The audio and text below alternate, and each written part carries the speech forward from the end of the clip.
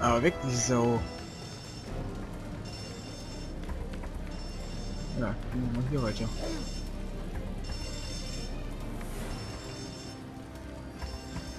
Ein Comic, jawohl, hat sich gelohnt. Überall gibt es immer ein Spiel, wo man mitsammeln muss. Lego. Lol.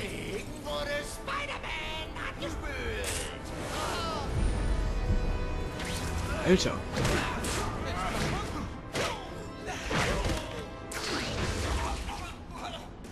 Ah, bleibt ja mal so schön gucken.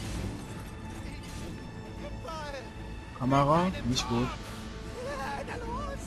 Das geht doch wohl besser. Ja Ich besser. hab hier was für dich. Für dich, was? Danke fürs Mitspielen. Am Arsch. Will noch jemand? Oh, Oh shit.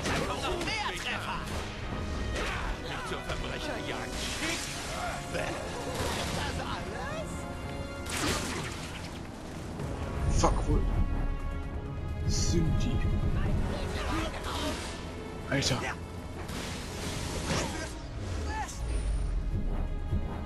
Dahin wollte ich. Hör auf, mich anzulächeln. Es reicht jetzt. Alter, dieses Sniper, ne? Fuck. Da. Ich bin nie allein. Versuch weg. Das reicht. Der ist da lang. Schnapp ihn. Der lebt aber immer noch. Er darf nicht leben.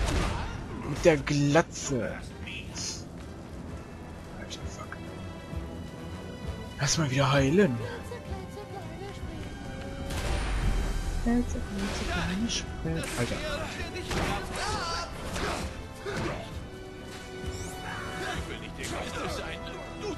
So.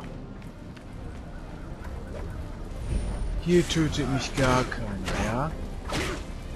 Damit das schon mal klar ist. Von deiner eigenen Medizin? Bam, ey, doppelte Beinschiene. Du Wichser. Danke, Du bist er. Ich dachte, ich wäre erledigt. Reinzukommen war viel leichter als wieder raus. Sieht aus, als würden alle ausbrechen. Toll. Darum kümmere ich mich später. Na los, Doc. Wohin gehen wir jetzt? Ich hätte zwar echt gern mal eine Pause, aber wir müssen zu meinem Apartment. Cops. Natürlich. Schnallen Sie sich an, Connors.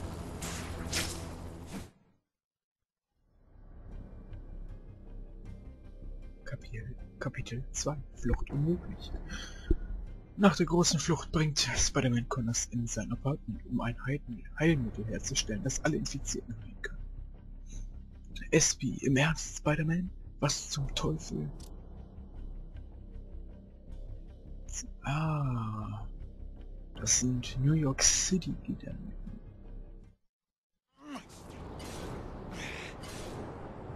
Heiß in der Nacht. Wow. Ich hätte nie gedacht, Manhattan mal so zu sehen. Schöne Stadt, was? Oh Eine ja. Stadt, die ich fast zerstört hätte. Alles Vergangenheit, Connors.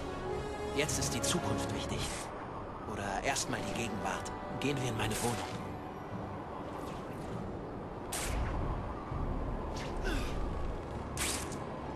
Auf geht's in Peters Wohnung.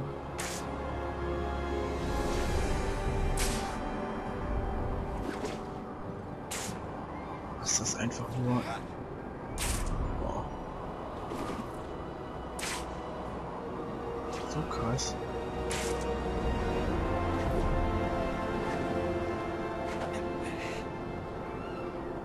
Wir helfen. So geht es jetzt hier rein. Ein... Ach, einfach hier, okay.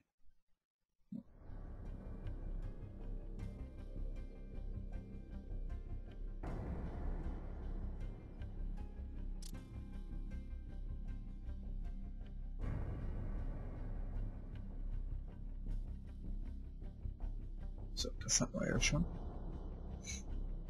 Ich musste mal trinken. Go, go. Tür-zu-Tür-Service. Ist nicht viel, aber ein ruhiger Ort zum Arbeiten, während Sie das Gegenmittel entwickeln. Wohnst du hier? Machen Sie Witze? Ich könnte mir hier nicht mal den Schrank leisten.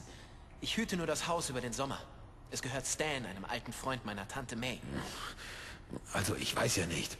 Die andere Option ist die Rückkehr ins Echsenlabor, in der Kanalisation. Das hier reicht. Wo sollen wir das Labor aufbauen? Hier drüben. Ich schätze, wir besorgen erstmal die Ausrüstung für die Arbeit am Gegenmittel. Da ist der Computer. Etwas alt, aber er läuft. Ein paar Bücher als Referenz da drüben. Da ist auch eine Kopie von Spleiß des Lebens bei. Und der Fernseher. Schätze, wir sollten sehen, ob wir es in die Nachrichten geschafft haben. waren heute schockiert, als Kurt Connors die Echse persönlich aus der Beloit Nervenheilanstalt floh. Hilfe bekam er vom selbsternannten Ordnungshüter Spider-Man. Es gibt kein klares Motiv für den Ausbruch. Die Polizei hat eine stadtweite Suche nach diesen extrem gefährlichen Flüchtigen gestartet. Hauptstelle. Anscheinend schon. Fantastisch. Jetzt halten sie dich für den Schurken, Peter. Das ist alles meine Schuld. Doc, wenn wir beide ein Heilmittel entwickeln, werden wir Helden sein. Ich rufe Gwen an und schau mal, was los ist. Warte, wirst du es ihr sagen? Das, Das muss mir? ich. Noch ein weiterer Grund für das Gegenmittel, was? Also, was brauchen wir, um ihr Labor einzurichten? Zunächst mal meine Forschungsergebnisse. Die Daten sind auf einem Tablet mit einem Ouroboros-Zeichen gespeichert. Es wird nicht leicht zu finden sein. Kein Problem. Ich bin schon bei Oscorp reingekommen. Ich schaffe es wieder. Peter, sei vorsichtig.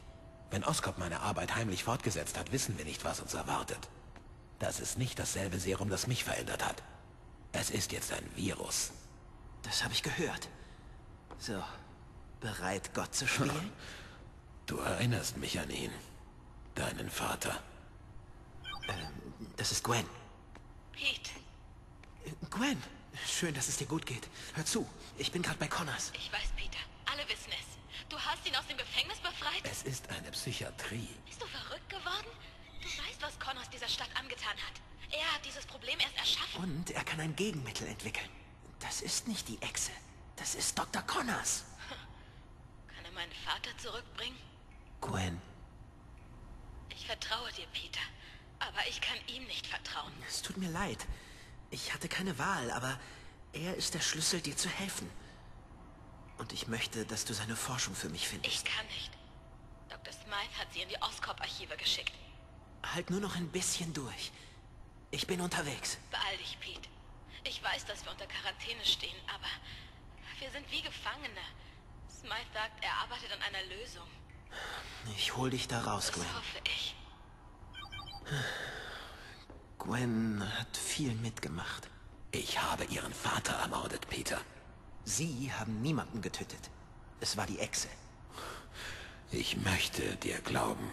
Wir müssen Gwen überzeugen. Go, go.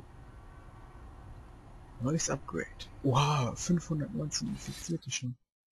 Fug. Machen wir mal den Netzhüpfer. Ja. Und hier machen wir nichts. Ne. Die schwarzen Anzug können wir auch noch. Geil. Boah, fett. Können wir mit dem machen? Ich muss das Gegenmittel verbessern. Ach so. Äh, ach so, hier kann ich die Musiken auswählen. Hm. Na gut. Zur Stadt. Peter, warte. Was sind das für Dinger? Ach ja, an denen habe ich gearbeitet, bevor das Ganze losging. Ich nenne sie Spinnensender. Kurz gesagt, wenn ich die an eine Polizeiantenne stecke, sollte ich hören können, was sie sagen. Sollte? Tja, ich hatte noch keine Zeit zum Ausprobieren, aber besser spät als nie. Ich mache auf dem Weg zu den Oscorp-Archiven einen Abstecher. Oh ja, in einem schönen schwarzen Anzug. Kapitel 3. Der Schatten früheren Übels. Gwen und die Wissenschaftler stehen noch unter Quarantäne. Sie kämpfen gegen die Mutation durch das Atemkreuzvirus. Mit Gwens Hilfe erfährt Spider-Man, dass Connors Forschungsdaten im Archiv von Os Oscorp gelagert werden. Aber nicht mehr lange.